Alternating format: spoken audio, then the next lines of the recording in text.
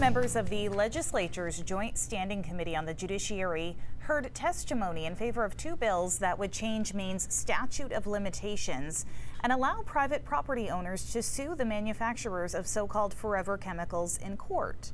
Both bills would make it easier for private property owners and communities impacted by PFAS contamination to hold polluters accountable. If passed, people could file civil lawsuits against the manufacturers of the toxic chemicals within six years of discovering the contamination. The industrial chemicals have been linked to a number of health problems, including organ cancers and thyroid problems. More than 50 private wells in the central Maine town of Fairfield have tested positive for PFAS. The contamination is believed to be from wastewater sludge used as fertilizer on farm fields for years.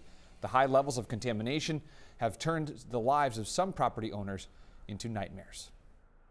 This was the most devastating news that we could get as the fir- as first time homeowners. Uh, you know, we feel like we should be enjoying our beautiful new home, not worrying about the, this contamination.